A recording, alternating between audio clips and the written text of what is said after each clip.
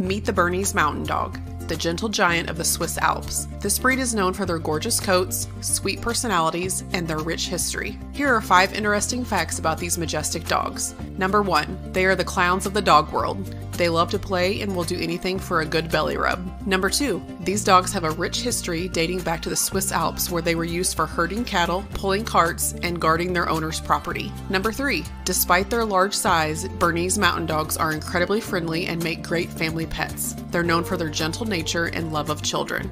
Number four, they have a thick, fluffy coat that is perfect for keeping them warm in cold weather. Their distinct markings of black, white, and brown make them easily recognizable. Number 5. The Bernese Mountain Dog is a relatively rare breed and is not often seen in dog shows. However, they have a dedicated following among dog lovers who appreciate their unique characteristics and gentle temperaments. So next time you see a Bernese Mountain Dog, don't hesitate to give them a pat on the head and a belly rub. They'll love you for it.